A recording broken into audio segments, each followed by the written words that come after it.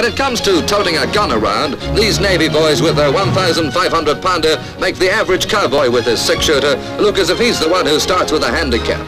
Over she goes, mind those feet. No time to stop to be polite. The stopwatch stops all that. The teamwork of this crack Chatham Barracks gun team is bang on.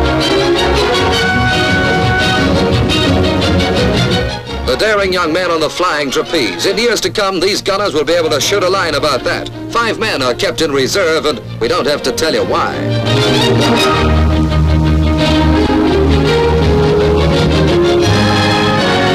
So far, they're all in one piece, and that's how they want the gun to be. And quick as a gun flash, there it is.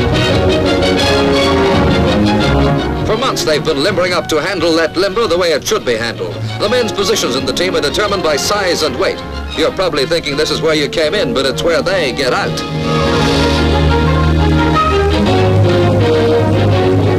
They're all keen volunteers for an annual display, and the silent service being what it is, everything goes off with a bang.